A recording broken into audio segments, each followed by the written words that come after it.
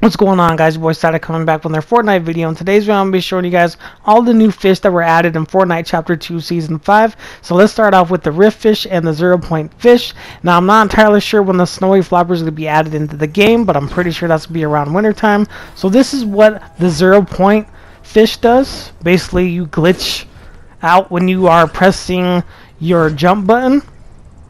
So you got to double tap it or just double uh, hit it once for your jump button. Uh, on PlayStation 4 or PlayStation 5, it's going to be your X button.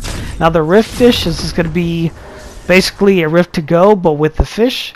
If you guys enjoyed this video, make sure you guys hit that like button, subscribe, and turn on notifications. Peace out, guys. Have a great day. Late.